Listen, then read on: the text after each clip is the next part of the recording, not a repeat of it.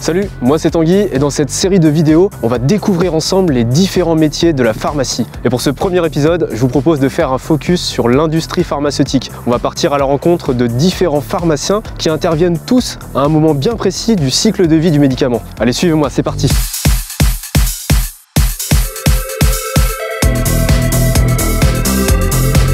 Pharmaciens de l'industrie sont des experts du médicament qui encadrent chaque moment de son cycle de vie, de sa conception jusqu'à sa distribution dans les établissements de santé. Tout d'abord, je rends visite à mon amie Pauline, qui va nous parler de son expérience en production et qui travaille maintenant comme chargée de projet, la moitié du temps sur site et l'autre moitié en télétravail. On y va? Ok, c'est parti. Je m'appelle Pauline Le Chevalier, euh, j'ai 29 ans, j'ai été étudiante à la fac euh, de pharma de Caen et aujourd'hui je travaille euh, dans le milieu industriel chez Sanofi. J'ai choisi de me spécialiser en production, donc j'ai effectué un master spécialisé en école d'ingénieur à Centrale Supélec. Donc mon premier stage c'était vraiment dans le domaine de la production. J'ai acquis pas mal de connaissances sur les process, sur les machines, des connaissances plutôt techniques. J'ai tout de suite adoré cet environnement parce que t'as aucune journée qui ressemble à une autre en fonction des aléas de production, etc.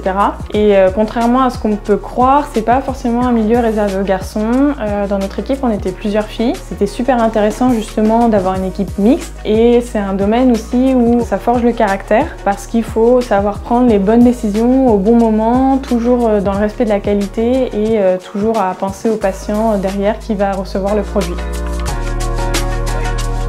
Avec plaisir. À bientôt. Salut Tanguy, à bientôt Pour que la production se fasse dans les meilleures conditions, un pharmacien chargé de l'assurance qualité veille à ce que tous les process soient conformes et respectés à la lettre. Mon ami Antoine est responsable qualité chez 3A, une société qui produit des radioligants. Ce sont des produits radioactifs utilisés dans le cadre du PET scan qui permettent de détecter et traiter certaines tumeurs. Je vais m'assurer que le médicament qui est produit est de qualité, avec toutes les données qu'on reçoit en production et toutes les données qu'on reçoit en contrôle qualité. Je vais m'assurer que le médicament, dans sa globalité, est conforme à nos attentes et qu'il puisse être injecté au patient. Donc ici, tu as l'eau purifiée, euh, GC, HPLC. Ici, Antoine me montre les différentes techniques analytiques qu'il utilise pour évaluer la qualité des produits libérés au quotidien. Une fois que le médicament a été produit, il faudra le positionner sur le marché et mettre en place une stratégie marketing en lien avec le parcours de soins. Il va y avoir tout ce qui est en fait la communication donc autour des euh, pathologies euh, et des médicaments du laboratoire. En fait, on a tous les types de médias qui sont utilisés pour la communication en général. Donc on va faire euh, de la vidéo, on va faire par exemple des brochures à destination des patients, on va créer des sites internet aussi. On est très ancré dans tout ce qui va être en fait les nouvelles technologies, avec notamment bah, les réseaux sociaux, avec l'intelligence artificielle. C'est assez diversifié en fait. Une fois que le médicament est disponible sur le marché, des pharmaciens référents médicaux ont pour mission de se rendre directement sur le terrain pour apporter de l'information scientifique aux prescripteurs. Alors je m'appelle Sébastien Perjot, je suis pharmacien de formation, j'ai fait euh, mes études à l'université de Caen et euh, ensuite j'ai fait un master spécialisé à l'ESCP, école de commerce. Par la suite, euh, j'ai eu l'opportunité de faire un VIE que j'ai mené en, en dermocosmétique à Londres et après 4 ans d'expérience londonienne, je suis revenu à Paris juste avant le, Covid.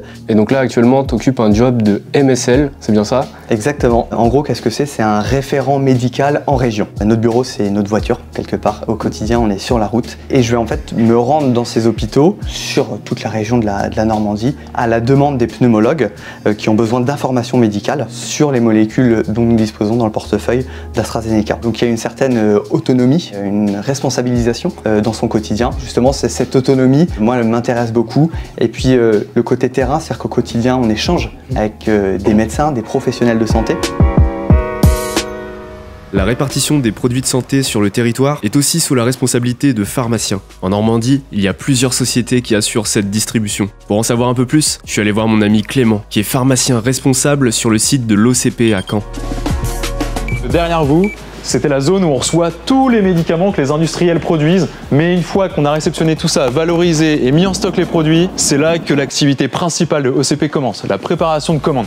Ici, tous les commandes passées par nos clients passent dans des caisses via des bons de livraison et on a tous nos préparateurs de commandes qui tous les jours les préparent. Alors quand je parle de clients, je parle bien sûr de nos clients officinaux principalement, mais ça peut être aussi des clients hospitaliers ou encore des cliniques ou même des maisons de retraite qui parfois peuvent avoir besoin qu'on les dépanne dans certains produits. Les rôles et responsabilités du pharmacien sur un établissement de santé comme ECP répartition, ça va être notamment être la gestion des produits stupéfiants, la gestion des produits cytotoxiques ou encore anabolisants vétérinaires, mais c'est aussi euh, beaucoup de contacts avec les ARS, la NSM ou encore les préfectures.